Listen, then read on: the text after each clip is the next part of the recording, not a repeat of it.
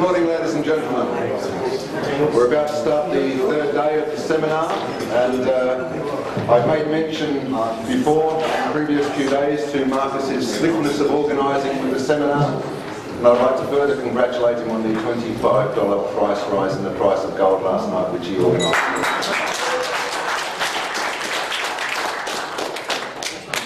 Our first speaker up this morning is a sartorially splendid fellow who I've known for a little over two years now. We met in Szombathely in Hungary in August of 2007.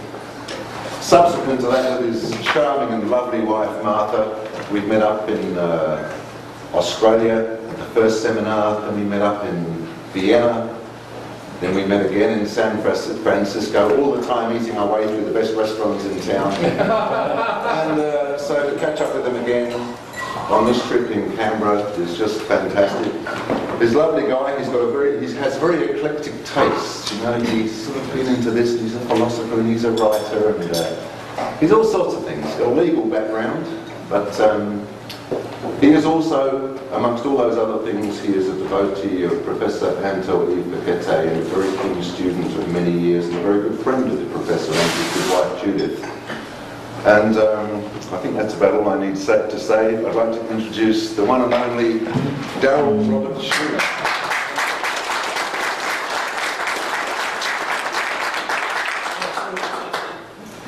You get that kind of introduction when you write it out. Yeah. Thank you, Philip. Um, I'm going to talk about money, and that's what we have been talking about here, and I'll be in a different way. And so my approach is, you know, we've all heard, well, what is money? Money can be anything. Money has been many things. Money's been salt, cattle, um, you know, seashells, uh, the tally stick in early England, many, many different things. So to approach the subject, I have the idea, let's, since money can be anything, let's just take something hypothetical and run it through a real-time process and see how it shakes out in that thing. So as part of our hypothetical, let's say Martha and I decided uh, to sell our property in the United States and move somewhere else, okay? So we have something to sell. And we list our property, all right? We get a phone call and um, somebody says, okay, I, I, like your property, it's really wonderful, um, I'd like to buy it. Sure, that's what, that's what the offer's for. All right, so we said, well, how much? And he said, well, I'm not sure um, how many toenails. toenails. And I said, well, okay. Uh, depends whose toenail it is. Because, because when you're dealing in toenails, that's really what the issue is. Because not all toenails are the same. All right, it's like money. Um, oh, this is toenail's from Jesus Christ. we knew it was fraud. We did. Our place wasn't worth that much. So somebody would approach us and say, "Oh, yeah, well, even a little bit of the smallest toe of the last toenail of Jesus Christ. It would be in a museum somewhere. It'd be in a state trust. It would be the part of a Citigroup's asset base. Certainly not being offered for Martha and I's, you know, piece of property and, and whatever else we have. So we knew it was a fraud. All right. But that's what happens when you are using a toenail-based system for money. And there would be many virtues to it. I thought about this. Many virtues. It's like the amount of toenails would grow with the population. and so the growth of the toenail of your asset base, of the money base in society, would, would, wouldn't be tied something to a species as Milton Friedman's 3% rule, where you come up with 3%. It would be organically tied to the growth of your population. All right? And there would be a natural retirement of, of value. Because what happens is, is that value would be attached to the toenail who it came from. All right? George Washington would be, I mean, be a very valuable piece of toenail in the United States. More than Aaron Burr. All right? More than, and then some people like Michael Jackson, he'd have a toenail value too. All right? Which would value, which would fluctuate madly. There would probably be a futures market on Michael Jackson toenails. And if you had bought when he was suspected of being a molester, you would have bought a lot. and sold when he died, you would have made a fortune. You would have made a fortune. Okay? So this is this is what would happen if you used a toenail-based commodity patent money. All right? So let's say Martha and I found a, uh, a suitable offer, one we knew that was right, and, and of course they'd have uh, title insurance coverage. In this, in this thing, uh, guarantees of, of the not of our property. They, they'd have to be that we'd have to clear of property. But in fact, that this was a bit of a toenail of so and so and so and so and so and so. Okay? But, but let's say we wanted to go and visit uh, our friend Mr. Song in Hong Kong. Right? The toenails that we have are American. And the values attached to those toenails are extant in America, not so much in Hong Kong. All right? A toenail of Jesus Christ, where, is it, where it would be virtually priceless, and would, in the Hong Kong people would know, would be worthwhile. All right? But over there, perhaps the, to, the toenail of Gautama Buddha would be worth more. All right? So you have this variation in value. All right? So to go over there, there'd be probably a live market. All right? And maybe there's a thing, but what would happen, really, is that you would probably have an intermediary. All right? That we both trusted. All right? And we, so between these various toenail uh, currency sectors, you would have a intermediary uh, trade going on to balance things going on like that. Right? And lo and behold, it would probably be gold. Because the Hong Kong people trusted gold as value, and they didn't necessarily trust the toenails of Michael Jackson, but they did trust gold. We may know in America that Gautama Buddha was a great man, but it wouldn't be valued as highly, all right, in the United States. So what would happen is, is that gold would perform that function. It was a thing that everybody trusted. Now the truth of the matter is, we don't deal in toenails. Toenails never, I don't think they ever were a thing of value, all right? But, but um, gold is. Throughout history, gold has been money. All right? It, it's just been money. And, and it's instinctual as much as anything else. You could, in Rudy's um, uh, example of the island, you know, with a few people, they knew each other. Right? They knew they knew they needed fish and berries and whatever, and and and, and, and trade happened, you know, commerce, okay. And what happened according to what they knew, what they valued and stuff like that, it was it, it was mutual. It was it was beneficial. But when it gets bigger, when you move this, the complexity, the level of complexity, you need something that is not so locus-based for value. All right. When, my metaphor, I use toenails. All right. But anything. All right. U.S. dollar. All right. Yuan. The yen. All right. You need something that's understand. That's why when we come here, we have to translate it into your Australian dollars. All right. And Martha, I keep cans of these things because we travel so much, you know. Right? And and you know we. But I said, oh, we made out on this, you know. We didn't make out on that, you know. But it doesn't matter. You just have to use it for use it. You know, you use it. But what happened is, is that in the, in, the, in the days of early trade, when the world was much more fragmented than it is now, when our understanding of the rest of the world was, a, was rumor, pure rumor, all right, that other people were on this planet with us and were different than us in very fundamental ways, we didn't even know them, all right? So the people who transited, who made the, the flow from one to the other, were traders, all right? And the, and the major trade was the, tr- the, the flow from the east to the west, the west to the east, all right? And what happened is, is that those who traded, they would take their, you know, their, their, their, their expeditions and they'd load them up with the goods of one place and take them to the goods of another place and trade them and sell them. And what they would deal in is, of course, gold or silver because it was accepted everywhere along the way. No matter what the language, no matter what their custom, no matter what the religion. They didn't have to go and explain it to a person. Why is this toenail really valuable? All right? I was a great man. Never heard of him. That was gold. Your only question was, was it real? All right? Hadn't been diluted. Right? Hadn't been mixed. All right? But other than that, it was accepted without question. All right? Now, what happened is, this is just generally the way it was. Until, time is an amazing thing. It's like there's a symmetry to time, all right? If you stand back far enough. 1,000 years ago, something really different happened to money that had never happened before. And it happened because of two inventions. And the inventions were the invention of paper and the invention of ink. I think you see where I'm going. All right? And Without paper and ink, you couldn't come up with paper money. But the reason paper and ink got translated into paper money was because of another factor, which I want to put up here. And this factor is probably the most important factor in economics. I call it H and it's not, it's not the virus that we're had. Human nature. Uh, Human nature combined with paper and ink. All right. The interesting thing about it is that paper money first arose in China, but it didn't arise as, in, as a money conveyance first. It didn't arise as what we call money. They called it flying money.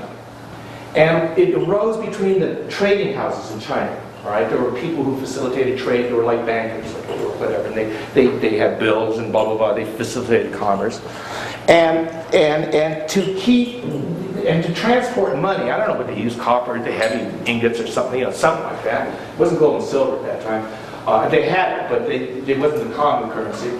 Uh, they would use these pieces of paper because they trusted each other. You know, Mr. HXQ in Shandong, you know, blah, blah, blah, blah.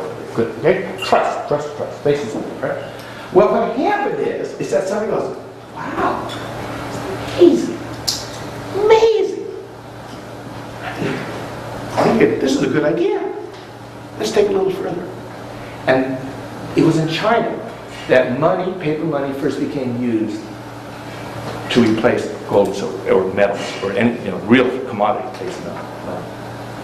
And the first attempt, everybody was happy, went along, you know, and they said this was backed by gold and silver. It was, it was backed. It was a, it was a backed currency. They just said, you just can't go out and start handing people pieces of paper and say, listen, here's a piece of paper, give me that, uh, your car.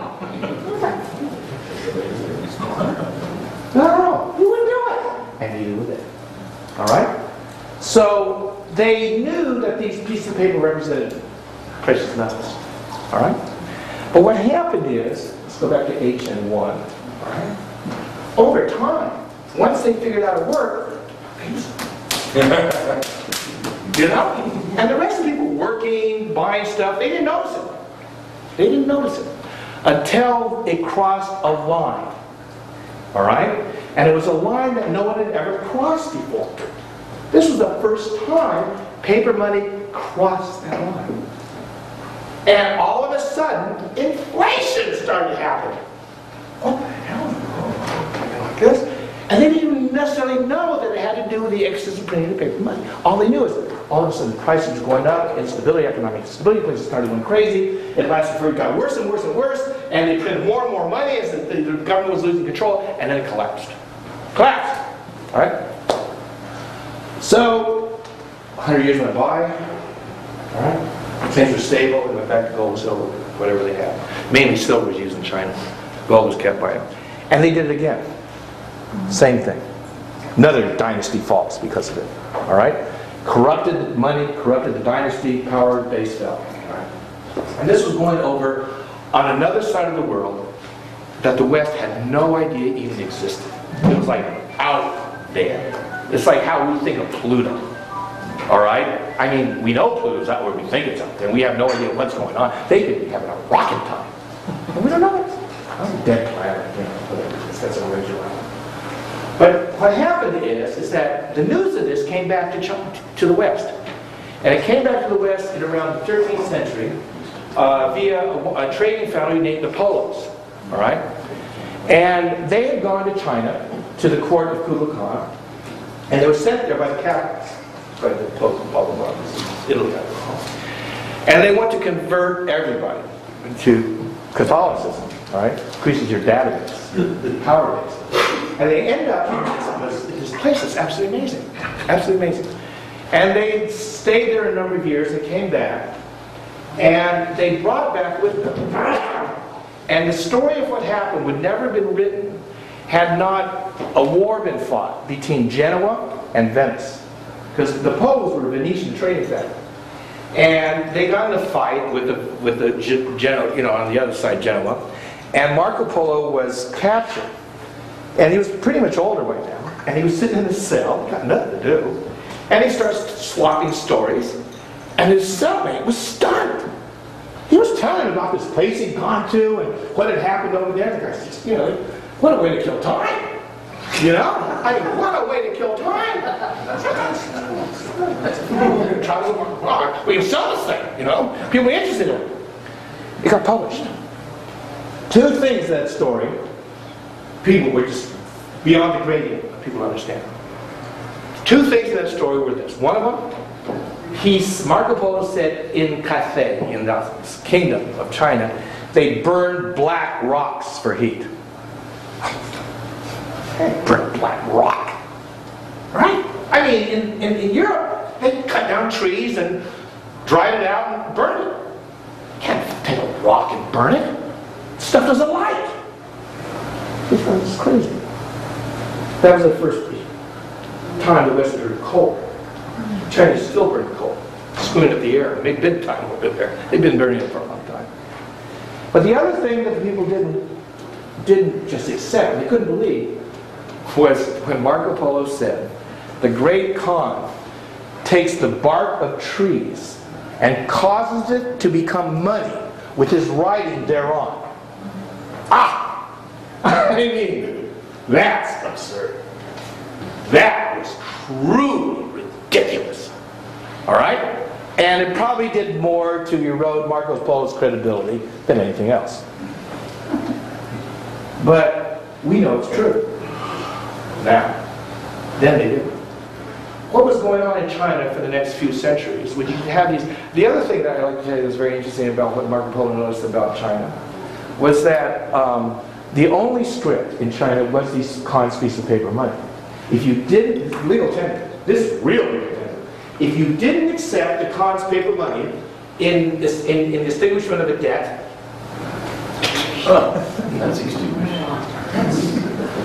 That's how you get things done. you know, none of this pussyfooting around. Death! All right? Woo. Here, here. Yeah. Great, great. Fantastic. Spread like wild. All right? And what Marco Polo noticed, though, whereas paper was the only legal tender allowed in the kingdom, the great Khan's treasury was filled with gold and silver. If you brought in goods to China, you to go it. That what And you sold goods in China, them gold and silver. And take paper in return. When Marco Polo returned to Venice with his camels or whatever they had, I assume they were camels, they were loaded with gifts from the great Khan to the Pope, who he now Khan never knew the Pope existed. He was probably told stories of this guy over there. Well, yes, Khan didn't give a shit, you know. Good story.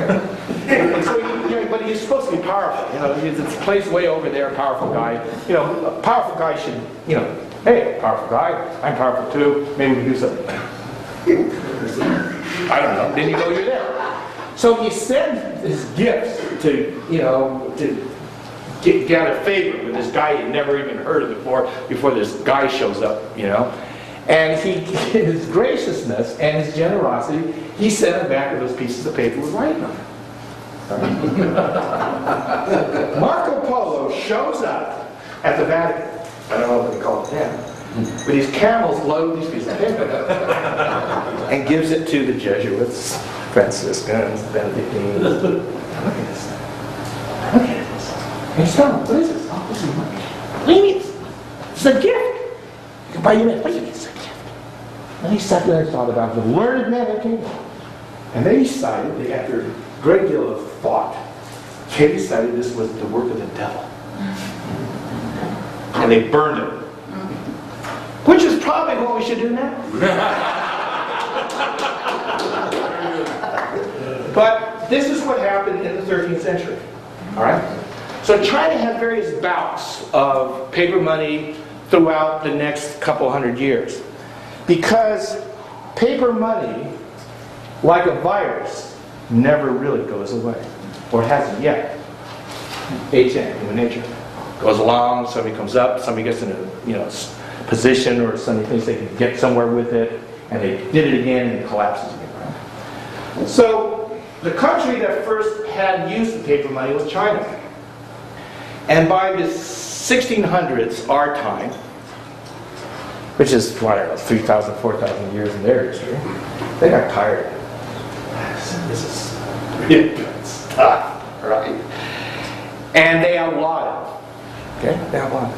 1600s. China passes a law, no more paper money. Symmetry of history is wonderful. In the West, in 1694, the Bank of England, the Bank of England, goes to King William, who is in trouble because he owes all this money. You know, he was from, what, William of Orange, was he from, uh, you know, the Netherlands, or Jerks of House of Hell, whatever it was. You know, they were fighting the Catholics and the Protestants, and everyone was fighting with each other in Europe, marrying each other's sisters and stuff, and just trying to get land. And, so, and it all cost money, and it all came off the backs of the peasants. All right? And he was heavily in debt, and the bankers knew it. The bankers, Right? The bankers. So they cut a deal he could not refuse. And their experiment lasted a lot longer than any of the experiments with paper money in the East. And it was very different. And I'd like to go through that with you today. What gave it legs? Right? What was the difference? And what they did was this. They, the deal it was, it was cut between power and money. Power and money. All right?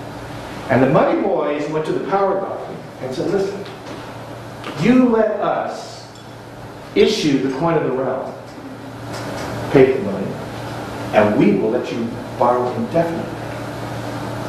If you're indebted, that's a great deal. All right? Couldn't refuse it. And so we did.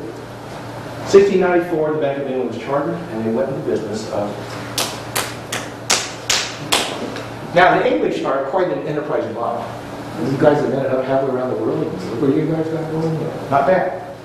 And so they started themselves. I mean, they can get paper. They do ink. Well, they immediately started hanging these people up around England, around London. All right? And a little note to this guy started printing money himself. Stop counterfeiting his tracks. All right?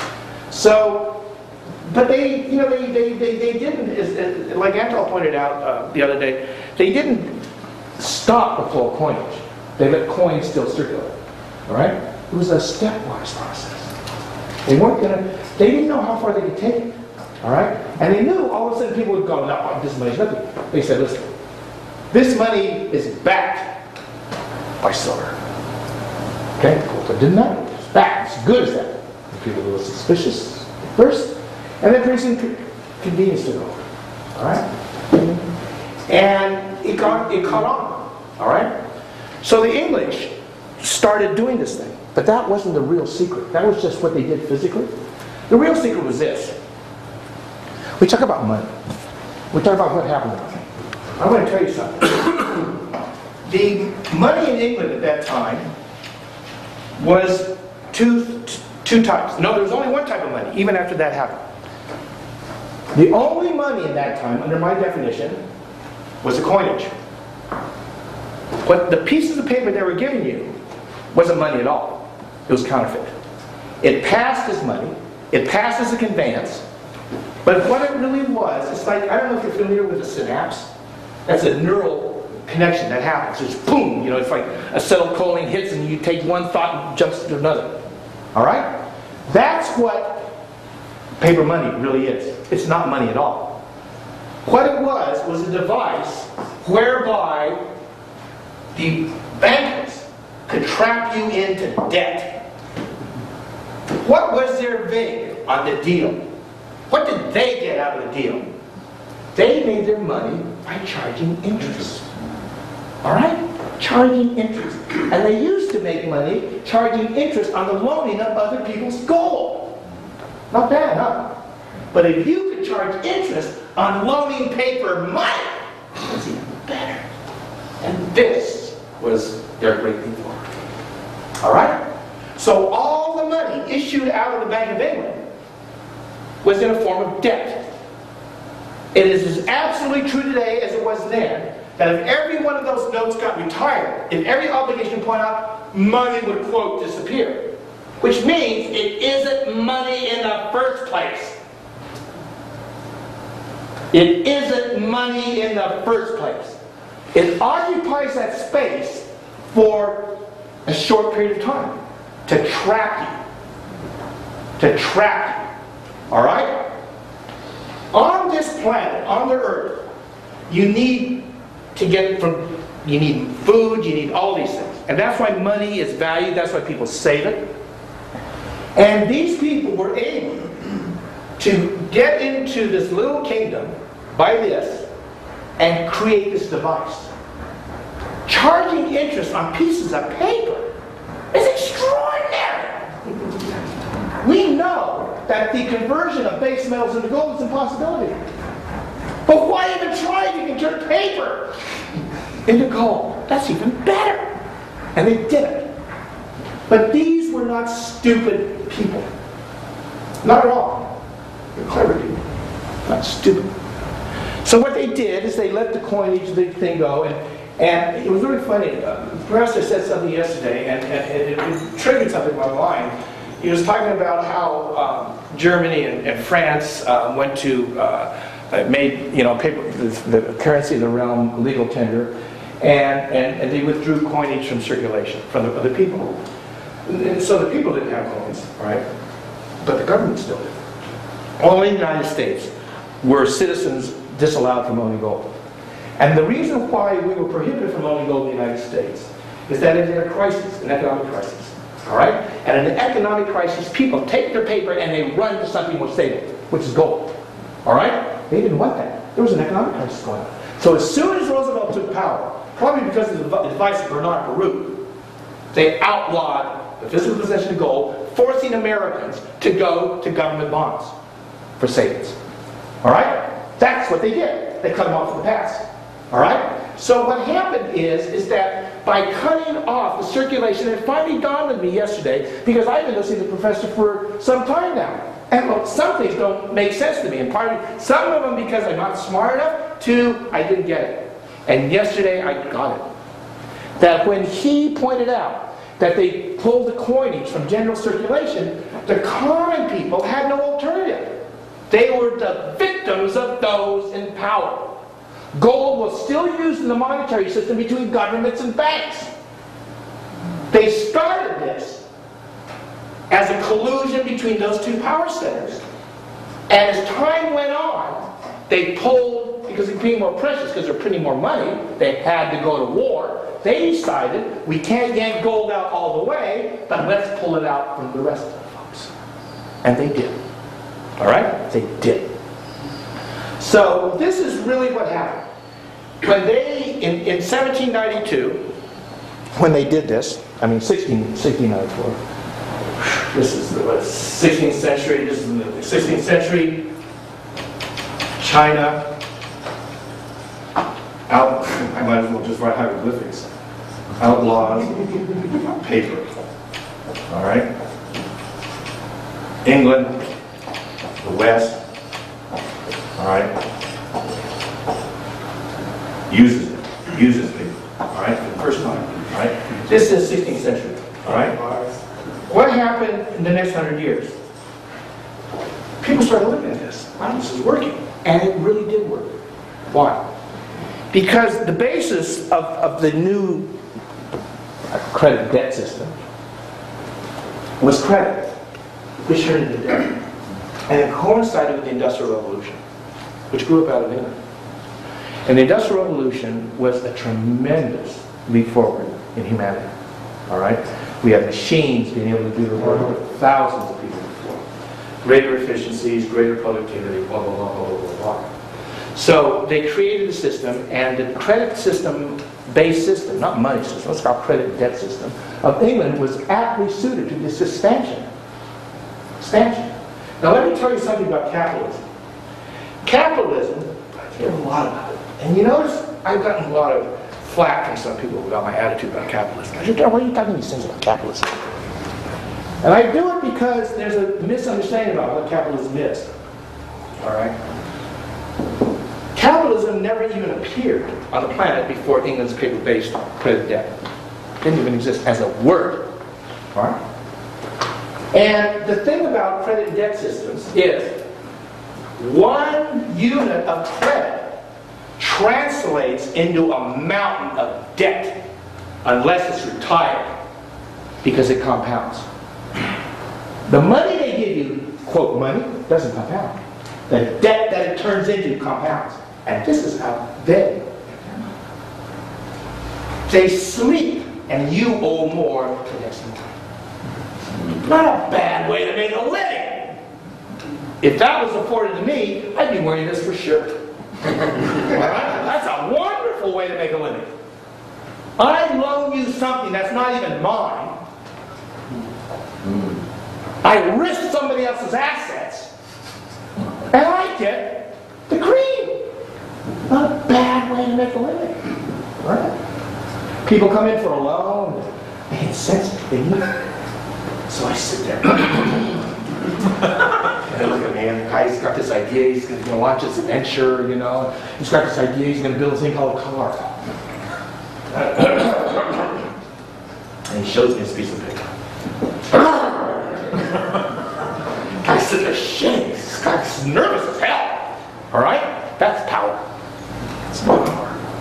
That's also power when he defaults on his debt and I take his house. And I take everything he put up as collateral for me loaning him pieces of paper that I was allowed to print because of my little deal with the government. All right? Wonderful. The thing about this system is this. The compounding debt is the Achilles heels of capitalism. Because you need to expand in order to pay off that debt. It drives it. The higher the interest, the more the driver, the more debt out there. It's driven. It's a devil's whip. All right? Well, England was, I I don't think any of this is anybody's fault. All right? It isn't. It's just, it's history. We're watching history. We're all part of history. This is something that happened before, but this is something we're, paying, we're watching what's happening now. I'm just explaining to you why we're in the position that we are. So England had the Industrial Revolution, great credit expansion, a lot of the debts got paid off, everybody made money, some people went broke, and the bankers just kept making more and more money as it went along. All right? And this fueled England's empire. Hadn't had an empire around since Rome. All right? But this little island sitting up there, all right? Granted, English soccer fans can get real violent when they get mad. Right? And you put them in a sailor's uniform and send them off to go to some land and get some stuff. Real good. But everybody's got violent people. You know? Everybody's got nasty people. You know, and you would think they defend themselves when these, you know, guys come around with their cannons and their navies. The difference and the reason why English established dominion over the entire known world at the time, virtual dominion, was because of credit. They were the only people who that could just go to the banks, raise that money, and just go and knock over the next country, not go to the next not go to the next? So the next century, is the 17th century, all right? 1700s, 18th century, England's dominion. Right? And people began looking at this thing. Wow, what is this amazing thing that is happening? All right? And this is where Adam Smith came in. All right? Because he noticed this great expansion. He's, he's a very, very good thinker, deep thinker. And he started making connections and things like that. And this is when they still had real bills.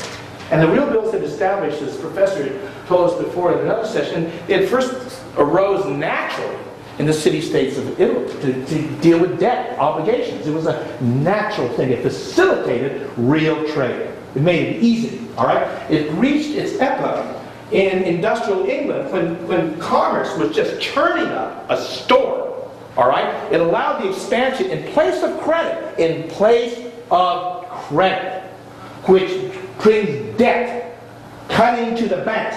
This cut out the bankers, this cut out credit, this allowed the people who produce to consume as an internal cycle with no bid, no mafia.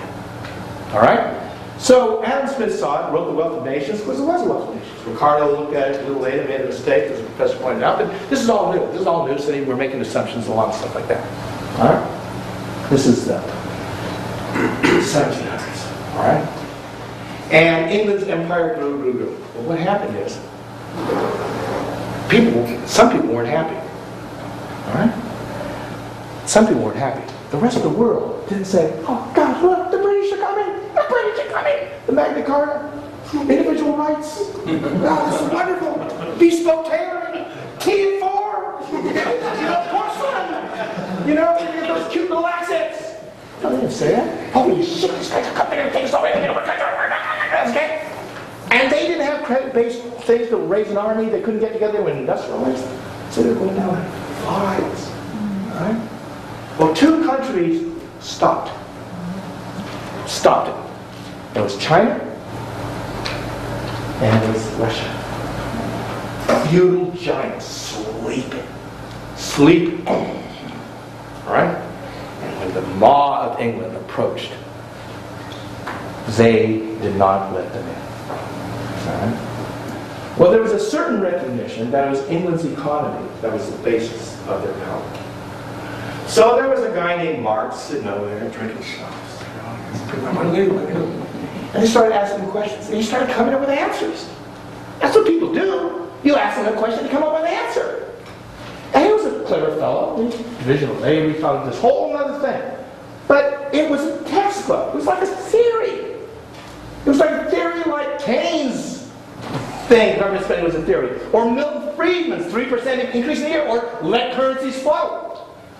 You know? I mean, you let currencies float, it sounds like an idea until you realize currencies can sink as well as float. All right? But it was a theory that was going around at the time, had never been practiced. And so Russia and China, the intelligent, intelligentsia, took this thing that opposed England's advance and installed it in their countries. A dysfunctional economy that had never been tried, never been worked, and stuck in their economies. But it wasn't even so much the economic system that was terrible.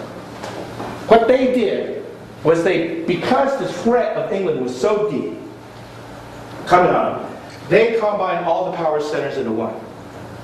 They combined economic, civil, financial into one. And you give people power, you give them power. I don't care what color they are, I don't care what race they are, this thing is get you and China. It did. One of the virtues of the American experiment, and it was an experiment because it's failed. It is failed.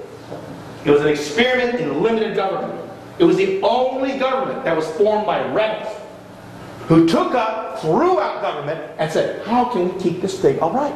Well, let's break down power. Let's put the judiciary over there. Let's put the, the, the legislatures over here. Let's put this over there. And you know what? If you want something done, that's really inefficient.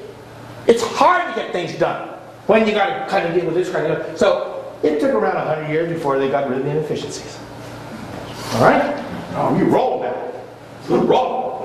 And that vision that they had of free and independent people and economy is gone. The experiment has failed. And we are here at the end. And that's what's happening. All right? What really has happened is that we've come full circle. We are now a thousand years later after the English experiment ended. I mean, started. There's a certain symmetry of time that's really wonderful. A thousand years has gone by. And we're at a, at a critical point. At an incredible point. It's been less than 10 years. Do you realize that 10 years ago, the dot-com bubble was rolling? I mean, maybe you should put some money in global crossing. It's hot so far. All right? Look at this. All right? But the truth of the matter is, it's all a bubble. Once you can get away with printing paper money and controlling debt and credit, you can do a lot of things with it. But once you start dismantling the controls of the system, and Professor Fekete said it eloquently, it's the brake on the engine of credit.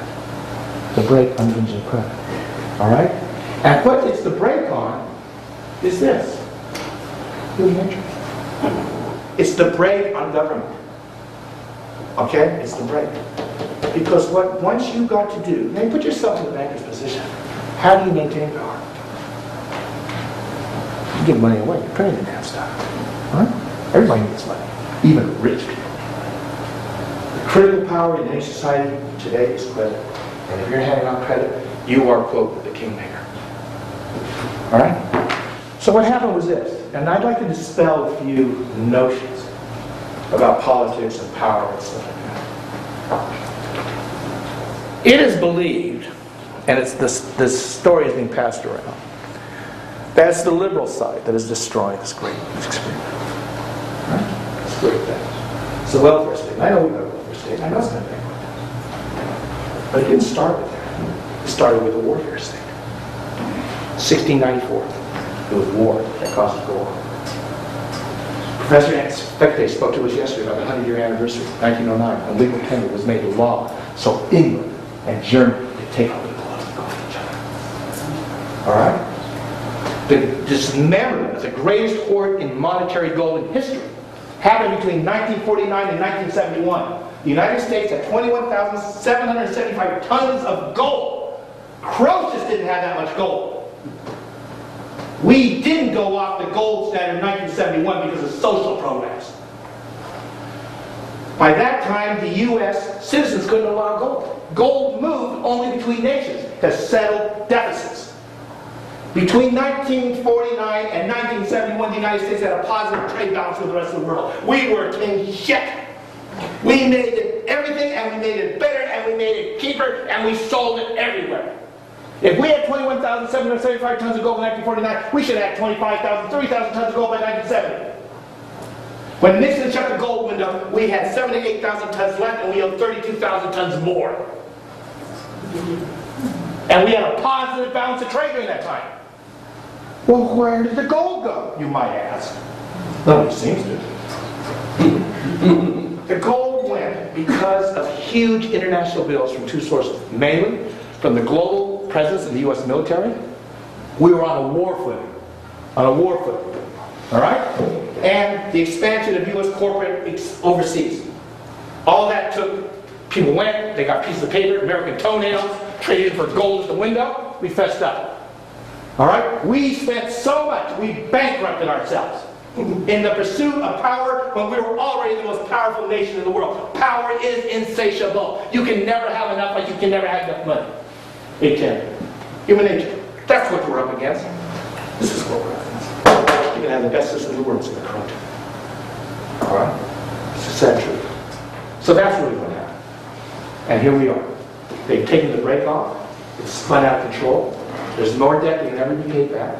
Americans are walking away from the house. You know what Thomas Jefferson said? It's terrible. Yeah, it's horrible. I'm an American. I was born in Washington, D.C.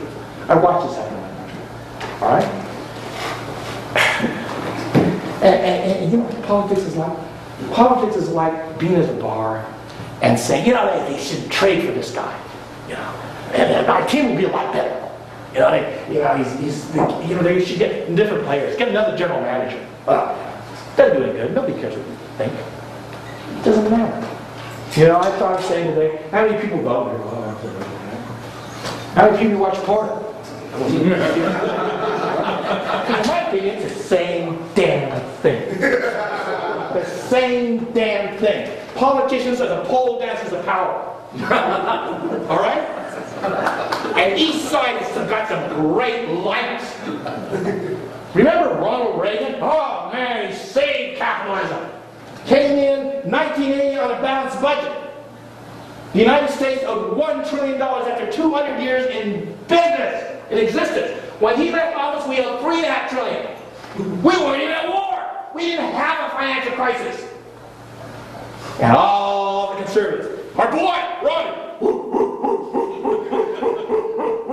Why? Because he told you what you wanted to hear. That's what you're getting. And the Democrats. Oh, Bill. yeah, thank God, son of a bitch. The Bushes aren't in. Oh, God, Bill. Save us from these sons. They're ruining us. Bill walks in. That's a deal. Goldman Sachs. No, it's Robert Rubin. Oh, Larry Summers. Right? It's a funny thing about this. Great Depression was a terrible event. Happened mainly in the United States. The United States did it. And they passed one law, 1933, called the Glass-Steagall Act. One damn law. And they said, to prevent this horrible catastrophe from happening again, we're going to draw a line. We're not going to allow investment banks to vet the savings of commercial banks. We're not going to allow the betters and the boys, the punters at the table, to take the hard-earned savings, widows and orphans and entrepreneurs and business people who risk their lives and hours and their wages and their savings for another day and at the table and lose like that in Great Depression. One law.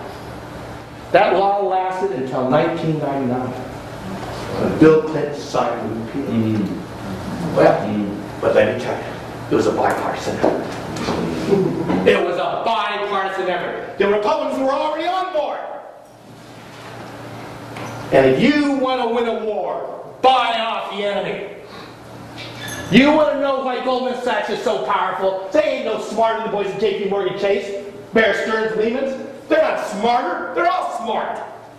They all learned how to play with money. What happened was they bought off the Democrats. That's how you make money. That's how you win. You buy off the enemy. And then you're home free. Heading at the same side of the table. And they did that. 1999, Bill Clinton repeals Glass-Steagall. They could bet savings of Americans once again. All right? Oh, the lovers of deregulation. Lovers of de- human nature. I tell you, I hate government regulation. I hate it more than most people this. All right? I tell you, you do this, and put it in the hands of someone with more power than me, he's not going to do me any good. Right?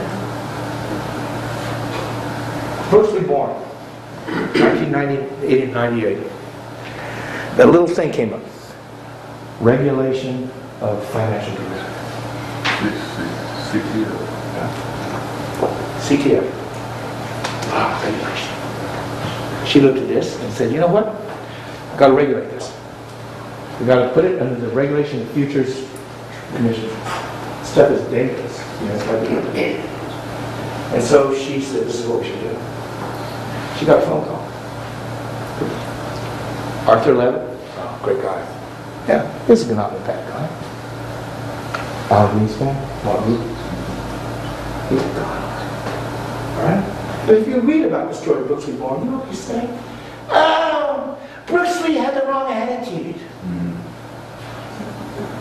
She was litigious. She was adversarial. That's why we didn't regulate derivatives. The one lone voice.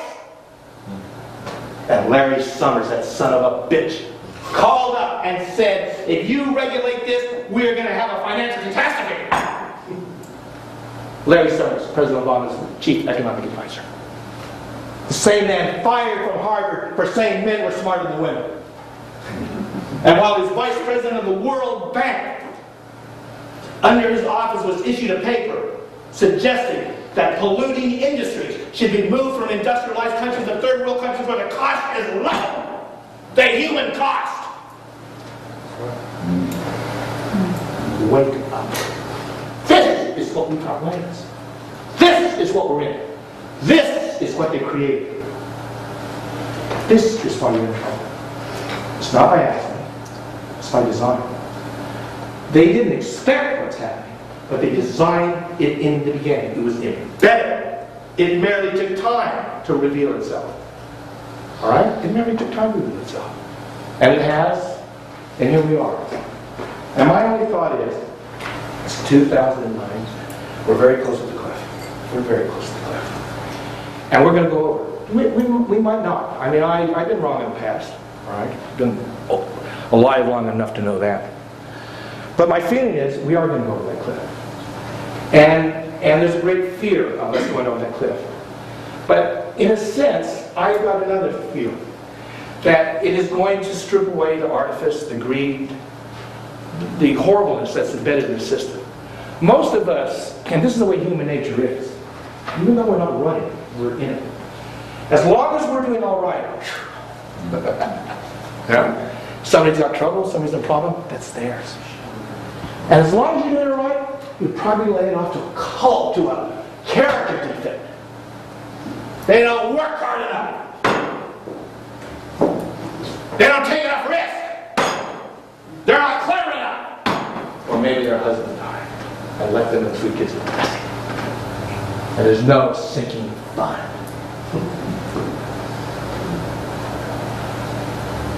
It's naked. And so are we. But I believe that history is a very long thing. And we all, we go through growth and we go through deaths. And, and, and uh, we are on the verge of the end of this extraordinary system. It is extraordinary. I've had a lot of fun here. And, but we're on the verge of where the system is ending. And I don't know if it's going to be better. I don't know if it's going to be worse. I know it's going to be different. And if you look at history, it's always generally been better. That's, there was this extraordinary book written by David Hackett Fischer. And he's talked about the shifts in Western history, how the feudal age was succeeded by the Renaissance. The Renaissance was succeeded by the Enlightenment. The Enlightenment was succeeded by British imperial, you know, uh, British bankers. And it did bring the world together. It really did. This world is very different. And so it served its purpose. And now that its purpose has been served, it's just being taken off the table. Being taken off the table. And we can't do anything about it. We can't do anything about that more than we can about the deal cut between King William. It's done. It's out of our hands. What we can do is be aware. We can do is watch this and see who's at the table. Don't expect the people benefiting from the system to change it. It's benefiting them. All right? Don't expect change to come from them. All right? But change is going to be forced on them, as it is generally on all of us. Individuals, countries, we respond to pressure. All right? And the more entrenched we are in established whatever it is, the harder it is for us to let it go. We don't like letting go. All right? I was talking with a lady in. It was wonderful. We were talking about change. She, she had the, the, the, the cleaners, the corner, and I got into a dinner with the professors and I before, needed the shirt cleaned before I came back to Auckland. So I walked in the cleaners down the corner, talking to this lady, and it, I don't know how I got. She "I'm afraid of change. I hate change." I said, "I understand. I hate change too." She said, "I hate very oh straight." I mean, I'm not Christian, but emotion crap right? So we got pretty intimate on a shirt, all right, over a short period of time. And I don't know how we got from there to economics, but we did. you know, Friday afternoon, we got into talking about the depression, and I brought up that little thing about Glass Steagall. The only thing that changed between 1933 and now was Glass on that started. She says, no, no, no, something else changed. Yeah, huh? She says, yes. The buildings are sealed. They can't jump out.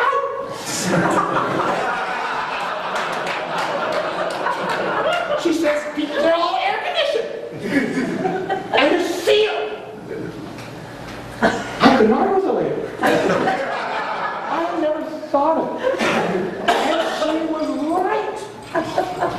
She was probably more right than my tying together the collapse of the economy and the repeal of Glass-Steagall. And I believe I'm right.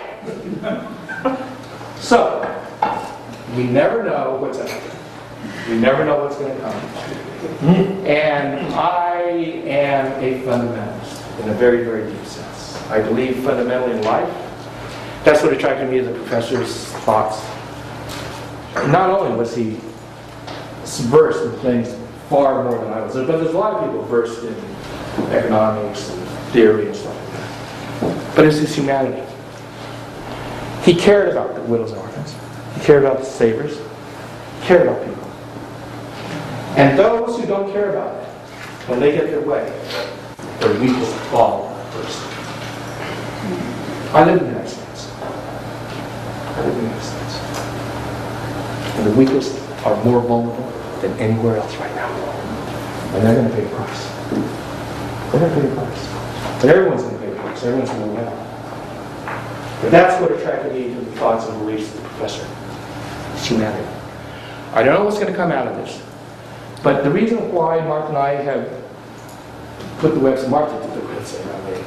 But the reason why we've supported him so much, his wife, is because his voice needed to be heard. I, I thought, my God, there's only one man who knows these things. You know, it's like you're sitting there and everybody's got, you know, candles, and this guy's the only guy who knows how to make incandescent lamps. You know? And you're, like, holy shit! it can go dark real quick. And so we met, there was only a few of us. And Philip was there, rolled in from Australia. We had some feelings about Australia. Martha had an Australian boyfriend. At. And uh, our crocodile Dundee, you know. we didn't know much about it. And uh, Philip comes in. That first meeting where we all met in Zombie All right? Very interesting time. Just like today. When we met, the credit crisis had just started. August 2007. Credit markets across the world just crashed.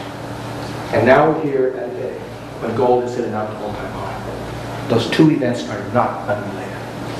They're not unrelated. But the number of people in the room has grown. And you're here with us. And I'd like to extend the invitation to Philip, that he did before. Join us. Thank you.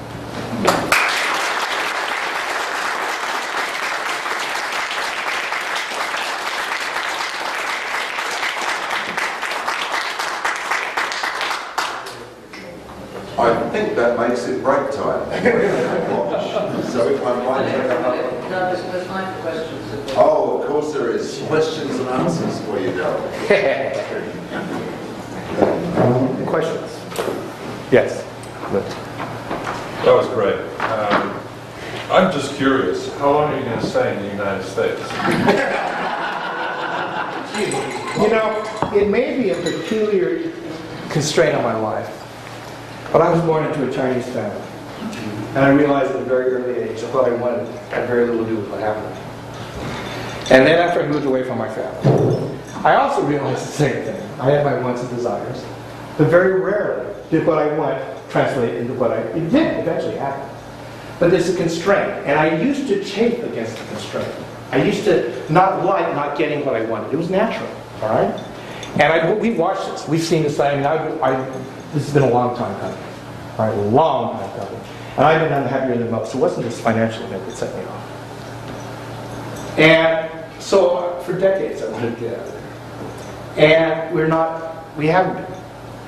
And we met extraordinary people in the interim in the United States that I know was, we were supposed to meet. And God willing, hopefully, we don't have to meet anymore.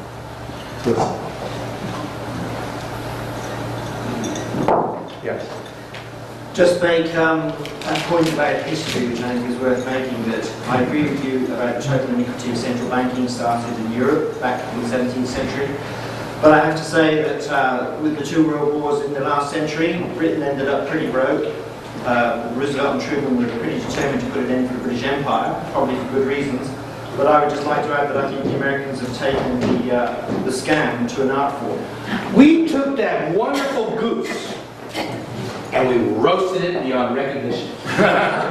All right? You perfected One of my articles, I talked about the British character and the American character. And I said, Brits, you're known for your the quiet place, the well-mannered, whatever you guys do. I don't know how you guys do it. Fine tailoring, you know, it's quiet. Presence is good. We have cowboys in there. And when they got a hold of that central bank system, that you guys nurtured, nurtured, stoked, kept the lid on, venture didn't go too far, because you knew what you had. You knew what you had. You respected. And then we got in 1913 went, holy shit, look what we're doing this. 1913. Ten years later, we started the bubble in 1920. The biggest speculative bubble in the history of the world. In 1929, it collapsed and sent the world into its first Great Depression. You're right. So congratulations. Thank you. You know where it's due. I mean, I tell, I tell people, I said, you know, we've been buying toasters for nine dollars a piece. I mean, what the hell? We're living off the hog, but we better start buying more. Let, let's start stocking up. This thing can't last forever. I know that. We, you know, Martha and I, we, we grew up in a time of, of after the, the World War, and it was a, it was a terrible time. I mean, it was, it was horrible for everybody. And, and we came up with an age that was very, very different. And it was, it was, in fact, it was like a bubble we. We, we truly had a bubble. And at the end, uh, but the, at the beginning of that, it was, it was built on real productivity because everything else had been nailed. It was, it was ground down to dirt. All right? And then when they pulled the gold thing out in 1971, then it really started. Then the whole thing started being shaky. Right? Very shaky. And Paul Volcker, paperboy, he was a paperboy. All right? He turned out the ratchet, took interest rates to 24%. Mark and I had, uh, I had a company, I went broke. Like that. I had a $400,000 line of credit loaded with luxury goods, and all of a sudden, nobody needed it. Right? It was quite unpleasant. But what happened is, is that the miracle of the 1980s came. Right? The miracle of the 1980s. And you know what it was? Oh, it was productivity. It was expansion. You know what it was? It was dick. It was crap. Ronald Reagan came into office, we owed one trillion dollars, and eight years later, we owed three and a half trillion. We didn't make that money. We borrowed. And it went through our veins like heroin goes through a junkie's arteries. And we thought, listen, and now it's over. There it is. Now, what what's your take on how long it might be before the six hundred and thirty trillion dollars worth of derivatives blows up? You know, that's a curious question. Because we've never been able to, I- yeah, and I look at it, because this question always gets bandied about, you know, it's like, how much time do we have? Yeah. And I've noticed two things about it, and neither one has a bearing on the truth. Those of us who see the fissure think it's imminent, all right? There's a gentleman here, you know John Exter, all right? John Exter's a legend, and, and Professor knew John Exter. I only knew him by reputation. I found the hint of this guy in my readings.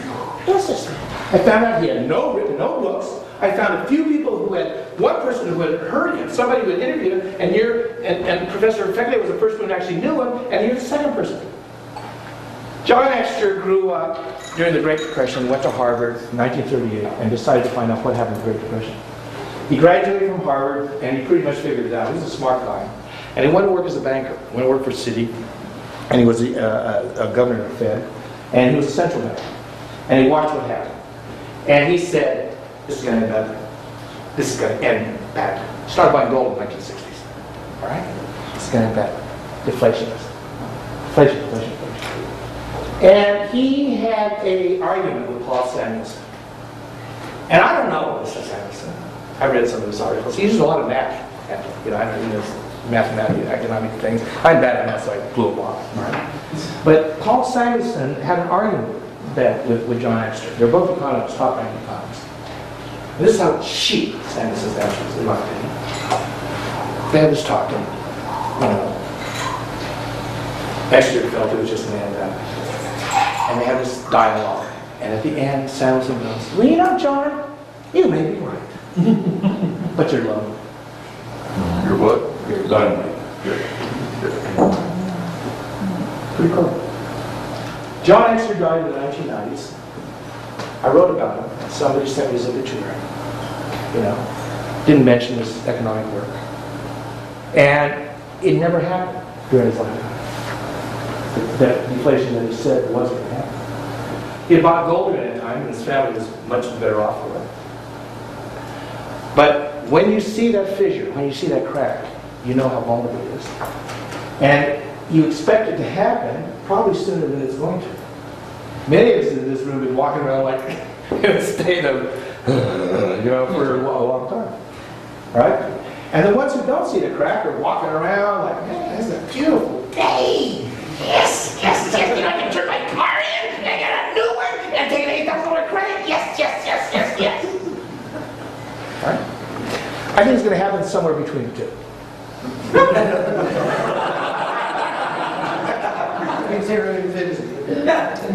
First derivative of your human nature is most people would rather be right, wrong with the crowd than right by themselves. We're afraid. You're right. You're absolutely right. And that's what drives them to believe stuff that is completely unbelievable. Rudy had the, had If you're in the crowd, you Yeah. believe what's unbelievable. we, we do not think. And I don't know if I can speak for the Australians, I can speak for most Americans. We've been taught not to. Our media shields us from whatever they don't want us to know. After the 1960s, when the United States went up in flames, the boys at the top decided they didn't want critical thought. Vietnam War was protested in the colleges. People got killed. Families broke up. Rage intense. Intense. And so they decided, let's dumb these fuckers down. Let's dumb them down. You know, one of the reasons you asked about leaving the United States? One of the reasons Martha and I would like to leave the United States, is we found the dialogue a lot better with other people. Not necessarily smarter in different countries, but a different background, different point of view. And the one we found in the United States was particularly blind, particularly closed off, particularly blind, and particularly frustrating. Because when you're in a country that was once the greatest country in the world, that had the greatest savings, the world's creditor, and watch it in your lifetime, it wasn't the Russians that did it to us. It wasn't the Chinese that did it to us. It wasn't the British that did us. And it wasn't those Mexican immigrants crawling across that river to mow our lawns. Americans think so. Yeah? It scared me. And it works. And, you know, I, I'm a cynical. I'm a cynical.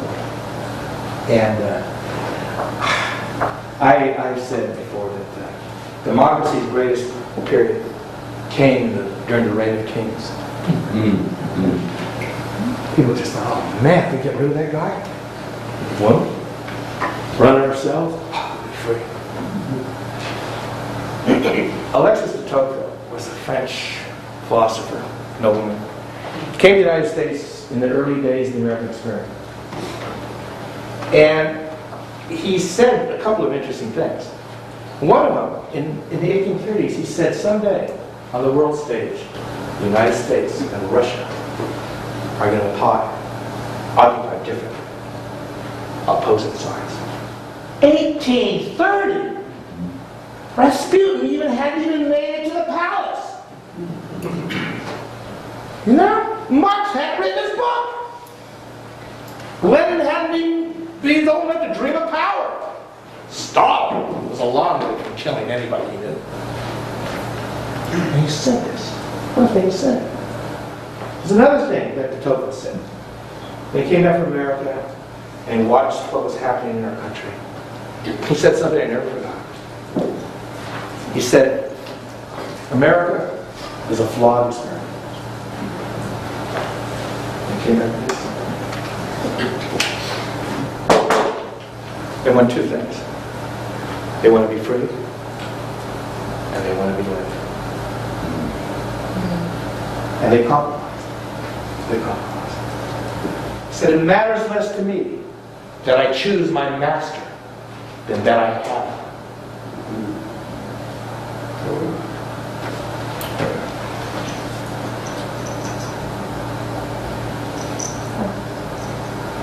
We're done. I've got a What? question. Oh, question. Okay, interesting. So some of you guys have been expecting um, a catastrophe for quite quite some time, and it hasn't uh, quite happened yet. What are some of the triggers that might provoke it, or are there eh, uh, are there mathematics uh, that you can use uh, with world debt and um, real capital and so on to predict how close to the cliff we are? And are there any more tricks they can pull out of the book? I love it. You know, you, you said exactly what my son said in the 1990s. My son had to put up with it. He was young, went to MIT, wanted to go through life, and he had a father that was so enraged and so bitter. I said, oh, there's no hope, this is corrupt, you know? It's only late I realized what I put him through. and, and, and he became interested as I ran into rail about money and who we were up against. He said, you know, Dad, these guys have all the power. You have no idea what's up their sleeve. I said, "I don't know, you have no idea what's up their sleeve. Well, there, we do know what's sleeve. They pulled basically out. All right? It was the suppression of gold. Gold is a thermometer of the weakness of paper money. They started trying to suppress that soon after they went off the gold standard. 1974, the, the IMF announced out of the blue they were selling 2 million ounces of gold. All right? Because gold, they were afraid of it moving up. All right? And they sold that when inflation took hold of the United States and, and gold went up to $850. It didn't matter how much gold they had, they couldn't stop the run. All right? That's what happened. So they started doing it again. After 1980, they started doing another one. They started going to the futures market, they started buying, they started manipulating, they went to bad the central banks, they started losing money because they didn't want this game to end. Why would you? if you could go to bed at night richer than you were the day before without having done this damn thing. But can we know what's going to happen? What's up their sleeve? Yes. I think the metaphor is this. It's a person, let's go back to the, the heroin addict metaphor. In the beginning, the addict doesn't need much. He needs a little fix, a little hit, a little hit. okay? And, but as, he, as, the, as the disease progresses, he needs more and more and more. All right? It doesn't do it. What did it two years ago doesn't even get him out of the shakes this morning. All right? The stimulus that this global economy needs now is so big, they've slammed it a steroid shot. And credit is still contracting. That was Ben Bernanke's bet. That you could liquefy. That was Milton Friedman's bet. Hmm. You could pour enough credit into the system and reverse a deflationary contraction. So a depression would never happen. In 1991, at Milton Friedman's birthday party, Ben Bernanke turned to Milton and said, thanks to you, we will never have another depression. Everybody clap. Everybody clap. Here we are. Here we are. They've run out of tools. They're buying their own debt. They kicked the problem down. What we're encountering right now is the, the solution to the last debt crisis that happened. When the dot-com bubble crashed, they slashed interest rates after the stock markets crashed, trying to liquefy the bubble and They did, and as the professor pointed out in one of his articles, they liquefied it, they turned on the credits, the credit space, but they did not control where it went. He said, it could go in the bond market, or it could go to real estate. And it did. The bubble went up, it burst, people are in shock. They were sold a bill of goods, and they know it. It broke the bond of trust. The- I call it the slow boys and the fast boys. The quick boys are the ones that sell it. They're smart. These guys are smart. They think about this. And if they don't think about it, they hire somebody smart who does. How do you parse this? What's the advantage? How do we get there? The slow boys, they're not fast. They're slow. They're conservative. These are the kind of guys when you approach them with a deal, their eyes get there. Right? But in the great game, the fast boys pulled it over on the slow boys. Triple A. Triple A.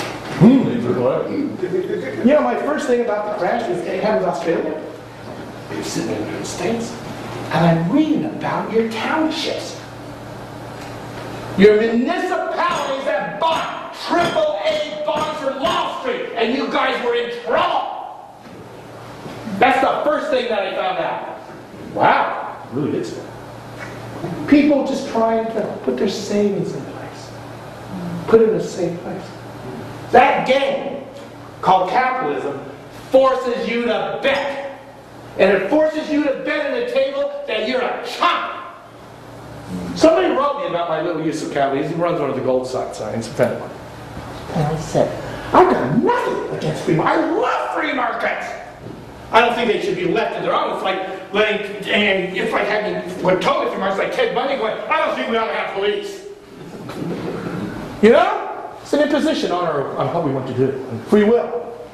You know? There were people who would argue that slavery was an affront to free trade. So let's be a little circumspect about where we draw the lines, and if we need them or not. But what happened is that these people got into power, and the savers, the closer you are to the spigots of credit, the closer you are to power, the more you benefit from their system. You are forced to bet your savings on their table. You're forced to. If it was money, you could put it aside and spend it. But it's paper that they print, and they print more of it every year, and that paper gets less, worth less and less, and you stick it under your bed, you give it to your kid, it you buys less tomorrow than it does today. So you're forced to take your savings and bet it. with who? With them. With them. Them. They took the pension funds of the teachers, the firemen, the, the workers, and they bet on Wall Street, and they lost. The next crisis is when they're going to look for those pensions. Mm. That's what the crisis is going to hit. They're out there. Those assets are gone. Now, when they have to pay out, they're going to find out. But the banks are allowed to keep those crap ass assets on their, on their books at full value. Yeah. Right? Let's not talk about freedom. It besmirches the name. It besmirches the name. Talking about a monetary system without gold is like talking about religion without God. Any other questions?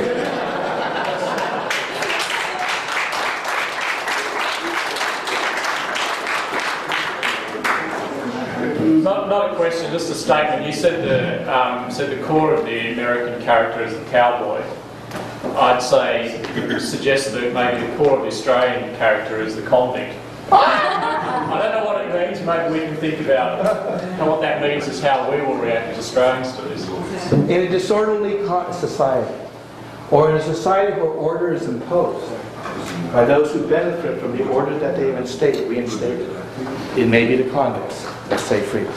Mm. That's why we're here. No accident. Thank you.